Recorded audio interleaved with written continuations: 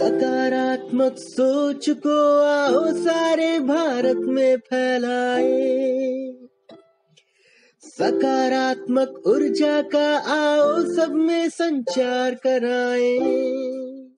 RJS, PBH, RJS positive media, social media से satellite media का सफ़र जारी रहेगा और सकारात्मक भारत उदय आंदोलन nation wide to world wide के लिए स्टूडियो से 9 अप्रैल से तो विधिवत नियमित प्रसारण की रूपरेखा बना दी गई है, लेकिन कार्यक्रमों का जो समय है वो टेंटेटिव है और निर्धारित किया गया है कि न्यूनतम समय सीमा 15 मिनट से onwards Uday Manna positive media show चलता रहेगा और उसके लिए समय निर्धारित किया गया है सुबह छः बजे, नौ बजे, बारह बजे, तीन बजे, शाम छः बजे, नौ बजे और इस तरह से अलग अलग कार्यक्रमों को लेकर उदय मना पॉजिटिव शो आ रहा है। सुबह सुविचार, श्लोक और सकारात्मक समाचार सुनेंगे छः बजे और नौ बजे सुबह आर जे की बात, डेली ब्रॉडकास्ट के साथ। बारह बजे आप पॉजिटिव मीडिया डायलॉग को देखेंगे, सुनेंगे और सायं तीन बजे ऑडियो शो होगा, जो ऑडियो बुक्स तैयार की जा रही है। आज़ादी की अमृत गाथा और अमृतकाल का सकारात्मक भारत के अलग अलग अंकों को अलग अलग दिन सुनने को मिलेगा।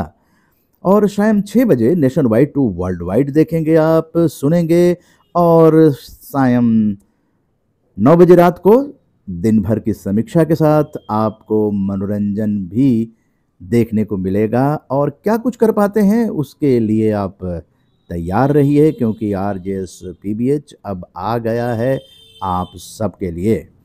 तो बताना चाहेंगे कि 29 मार्च जो हमारे साहित्य अकादमी पुरस्कार, विजेता पद्मश्री से सम्मानित भवानी प्रसाद मिश्र साहित्यकार थे। उनका जन्मदिन है और R J S P B H उन्हें कोटि कोटि नमन करता है उनके साहित्य की सेवाओं के लिए। उनकी मुख्य रचनाएँ गीत, फरोश, बुनी हुई रस्सी, नीली रेखा तक, मानसरोवर आनाम तुम आते हो, त्रिकाल संध्या, चकित है दुख और अंधेरी कविताएँ।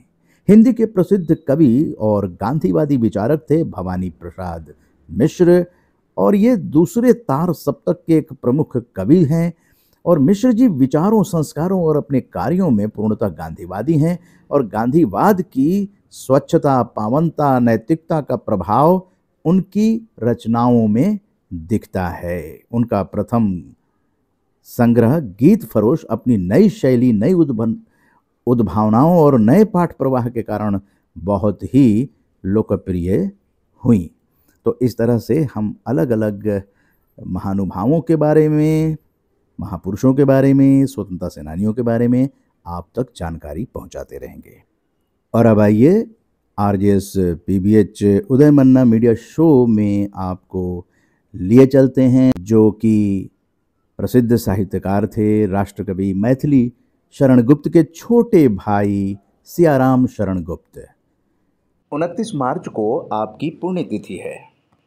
और आप पर भी गांधी जी का काफ़ी प्रभाव था और इसलिए आपकी रचनाओं में करुणा सत्य अहिंसा की मार्मिक अभिव्यक्ति मिलती है।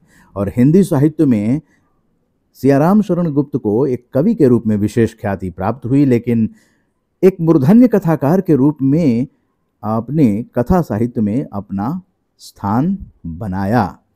खंड काव्य, अनाथ, आद्रा, विषाद, दुर्वादल, बापू, काव्य ग्रंथ, दैनिकी, नकुल, जय हिंद, उपन्यास, अंतिम आकांक्षा और तथा नारी और गोद प्रमुख रचनाएँ रही हैं। सियाराम शरण गुप्त, जिन्हें कि राष्ट्र कवि के नाम से जाना जाता है। आपके बड़े भाई मैथिली शरण गुप्त को। तो आर जे एस बहनों, भाइयों, आप सब तक इस तरह की और भी चीज़ें पहुंचाई जाएँगी आने वाले दिनों में तो इंतज़ार